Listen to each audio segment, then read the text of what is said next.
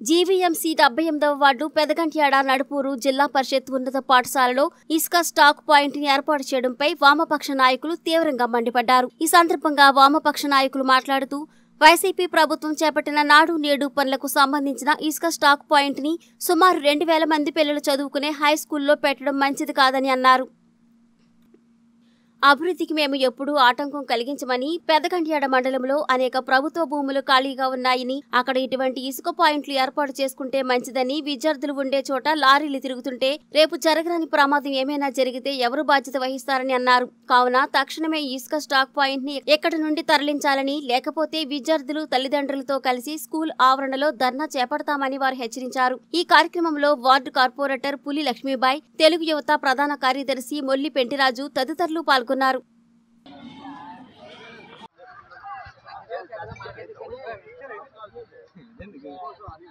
Qualities qualities maintain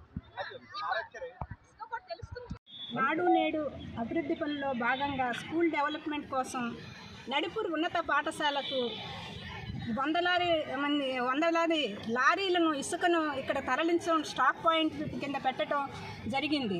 ఈ నడుపూరు ఉన్నత పాఠశాలలో రెండు వేల మంది పిల్లలు చదువుకుంటున్నారు. వాళ్ళకి సెక్యూరిటీ ఎవరు ఇస్తారు? అవుట్స్కట్స్లో చాలా గవర్నమెంట్ స్థలాలు ఉన్నాయి. అక్కడ పాయింట్ పెట్టుకుంటే బాగుంటుంది. కానీ గవర్నమెంట్ మూర్ఘంగా ప్రవర్తిస్తూ ఇక్కడంతా సేఫ్టీ ఉంటుంది అంటున్నారండి సేఫ్టీ ఎవరు చూస్తారు? స్కూల్ టీచర్లు సేఫ్టీగా ఉంటారా? లేదంటే వీళ్ళు ఎవరినైనా అపాయింట్మెంట్ చేశారా? అది ముందుగా గవర్నమెంట్ సమాధానం చెప్పాలి. ఇప్పుడు ఒక శానిటరీ ఇన్స్పెక్టర్ ఫోన్ చేసి మీరు లారీలను వెళ్ళలిస్తారా లేదా కేసు పెట్టేయమంటారా అని అడుగుతున్నారు. ఆయన ఎవరో వచ్చి ఇక్కడ తల్లిదండ్రుల పిల్లల తల్లిదండ్రులకు సమాధానం చెప్పాలి. పిల్లలకు ఏదన్నా అయితే దానికి బాధ్యత ఎవరు తీసుకుంటారు? గవర్నమెంట్ తీసుకుంటుందా? కలెక్టర్ గారు తీసుకుంటారా? ఎంఆర్ఓ తీసుకుంటారా? దానికి సమాధానం చెప్పి ముందు స్టేషన్లో కంప్లైంట్ ఇవ్వమనండి. అలా బెదిరిస్తే బెదిరిపోయే వాళ్ళు ఎవరు ఇక్కడ లేరు. మేము అభివృద్ధికి మాత్రం ఎట్టి పరిస్థితుల్లోనూ ఆటంకం కాదు. ఊరికి దూరంగా ఎన్నో గవర్నమెంట్ స్థలాలు ఉన్నాయి. అక్కడ స్టాక్ పాయింట్ పెట్టుకోమనండి. అంతేగాని ఊరు మధ్యలో వందలాది మంది కార్మికులు ఈ రోడ్డున వెళ్తారు. మరి స్కూల్లో ఎంతోమంది పిల్లలు ఆడుకుంటారు. వాళ్ళకి అవేర్నెస్ తక్కువగా ఉంటుంది. లారీలు టిప్పర్లు వెళ్ళేటప్పుడు వాళ్ళు వాటికి అడ్డంగా పడవచ్చు. పొరపాటు జరగవచ్చు. దానికి బాధ్యత ఎవరు వహిస్తారు? కా- కనుక ప్రభుత్వం తక్షణమే స్పందించి ఈ ఇసుకను ఈ ప్రదేశానికి తరలించకుండా చర్యలు తీసుకోవాలని మీ ద్వారా కోరుకుంటున్నాను జిల్లా పరిషత్ నడుపురు హై స్కూల్లో అభివృద్ధి పేరుతో నాడు నేడు అని ప్రభుత్వం స్వయంగా ఇసుక వ్యాపారం ఇక్కడ మొదలుపెట్టిందండి.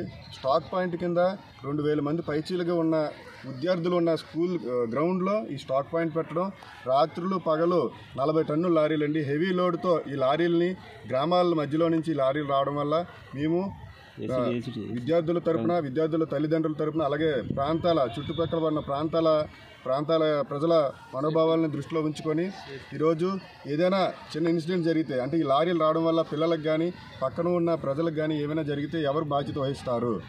ఇప్పుడు పదిహేను లక్షలతో రన్నింగ్ ట్రాక్ గ్రౌండ్ చేశారండి. దీని మీద నుంచి లారీలు వస్తున్నాయి. అంటే ఇక్కడ ఈ గ్రౌండ్ పోయినట్టే కదా. ప్రభుత్వ స్థలాలు చాలా ఖాళీగా ఉన్నాయి. నేడు ఆగస్టు పదిహేను వస్తుంది. పిల్లలు ఆడుకోవడానికి ఒకవేళ ఆటల పోటీలు పెడితే ఏ గ్రౌండ్లో పెడతారు? స్టాక్ పాయింట్ అనేది ఇక్కడ స్కూల్లో పెట్టి టీచర్స్ అనేది పిల్లలకు పాఠాలు చెప్పాలా? ఈ స్టాక్ పాయింట్ని చూసుకోవాలా? సేఫ్టీ లేదు సేఫ్టీ లేదు అంటున్నారు. ఒక గార్డును పెట్టుకొని ఆ గ్రౌండ్లో ప్రభుత్వ స్థలాలు ఉన్నాయి. పక్కనే దగ్గర దగ్గర ఎనిమిది ఎకరాల స్థలం ఉంది. ఆ స్థలంలో పెట్టుకోమనండి. మేము దానికే అబ్జెక్షన్ చేయట్లేదు. తప్పనిసరిగా ఇక్కడ ఎవరైతే గారు ఉన్నారో ఆర్డీఓ గారు కలెక్టర్ గారికి మేము అందరికీ రిప్రజెంటేటివ్ ఇస్తాం. ఎంఆర్ఓ గారికి కూడా.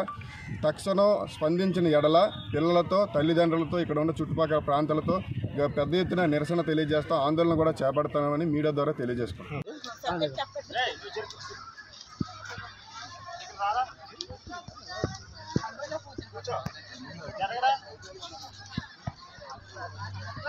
వాళ్ళందరినీ పిలవండి సార్. వాళ్ళందరినీ కూడా చెప్పామండి ప్రో- ఇది ప్రగతికి సంబంధించి కదా ఒకసారి రావాలి. పట్టుకోవాలంటే ఎవరు వచ్చినా సరే మనం ఏమి చేయలేదు. ఇప్పుడు మనం మనం డెవలప్మెంట్ కోసం గవర్నమెంట్ డెవలప్ ఇది అందరూ ఏమైనా జరిగితే ఏ రెస్పాన్సిబిలిటీ ఏదని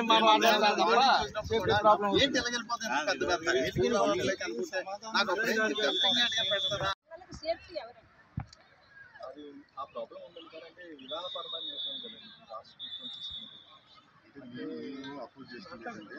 డెవలప్మెంట్కి మా